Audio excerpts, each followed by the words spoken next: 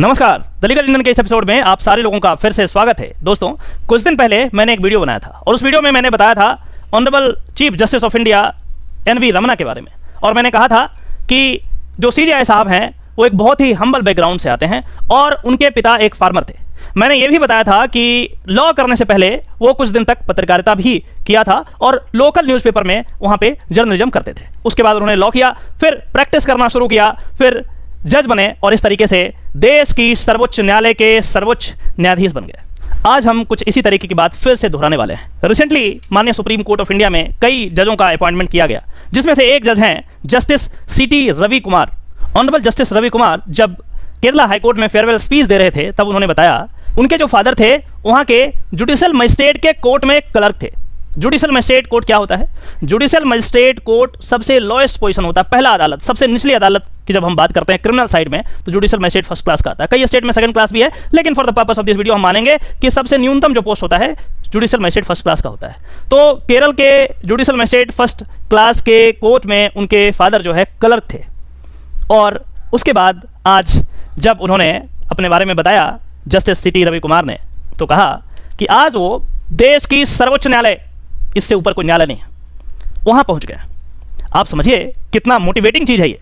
उनके पापा सबसे लोएस्ट जो जुडिशल मजिस्ट्रेट का कोर्ट है, वहाँ के कलर थे और उनका बेटा देश के सर्वोच्च न्यायालय, जो इतनी शक्तिशाली न्यायालय है, जो कि विश्व के तमाम न्यायालयों में से एक अच्छा खासा पोजीशन रखता है स्ट्रांग है, वहाँ के जज बन गए। कितनी अजीब बात है। जब आप लॉ की दुनिया में आएँगे तो कई लोग आपको डीमोटिवेट करने का प्रयास करेंगे। रेगुलर रूटीन मैनर में, चाहे वो गाँव वाले हों, चाहे समाज वाले हों ताऊ जी हों, ताई जी हों, चाचा जी हों, चाची जी हों, ऐसी चीज़ें होती है। आपको डीमोटिवेट नहीं होना। बहुत सारे लोग ये कहेंगे कि जुडिशरी में तो सब जिसका पापा है जुडिशरी में जज हैं, वकील हैं, वही बन सकता है। इसके पापा क्लर्क थे। Honourable chief justice of India जो अभी वर्तमान में है, उनके बाबूजी एक फार्मर थे। कैसे बन गए? तो इन तमाम डीमोटिवेटिंग फैक्टर से बिल्कुल अपने आप को साइडलाइन कीजिए और कहना है कि आपको जो कहना है कीजिए, जो सुनना है सुनिए। अपना रिदम मेंटेन करें और लॉ की दुनिया में खूब मेहनत करें। जब honourable justice C T Ravi Kumar farewell speech दे रहे थे तो उन्होंने कहा कि इस प्रोफेशन में कोई शॉर्टकट नहीं? चाहे कुछ भी कर लो आप, कोई शॉर्टकट आपको ज़्यादा दिन तक हेल्प नहीं कर सकता।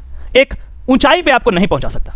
कोई शॉर्टकट सुप्रीम कोर्ट के जज बनने में आपको मदद नहीं कर सकता। कोई शॉर्टकट हाई कोर्ट के जज बनने में आपको मदद नहीं कर सकता। आपको मेहनत करना पड़ेगा, आपको लिटिगेशन करना पड़ेगा, वकालत करना पड़ेगा। और उसके बाद ही आप ऊपर के अदालतों में जज बन सकते हैं। Honourable justice C T Ravi Kumar ने 1986 में अपना प्रैक्टिस शुरू किया था और 2009 में उन्हें हाईकोर्ट का न्यायाधीश चुन लिया गया था अपॉइंट किया गया था। और इतना लंबा सफ़र तय करने के बाद आज देश की सर्वोच्च न्यायालय में जज बन गए। आशा करता हूँ कि इस वीडियो से आपको ज़रूर कुछ ना कुछ मोटिवेशन मिला होगा। तो वैसे लोग जो ये कहते हैं कि आप लॉ करके कुछ नहीं कर पाओगे, ऊपर नहीं जा पाओगे, जो कुछ नहीं करते हैं लॉ कर लेते हैं, उनके लिए ये वीडियो मैंने बनाया है। अपने आप को मोटिवेटेड रखें और हमेशा कड़ी मेहनत करते रहें। मेरी बात माने, इस प्रोफेशन में यदि आप ढंग से मेहनत करते हैं तो इतनी ऊंचाई पे जा सकते हैं जो शायद किसी दूसरे प्रोफेशन में नहीं जा पाए। आशा करता हूँ कि इस वीडियो के माध्यम से आपने कुछ ज़रूर नया चीज़ सीखा होगा। चलिए फिर से मिलते हैं किसी और टॉपिक में। तब तक के लिए नमस्कार। जय हिंद।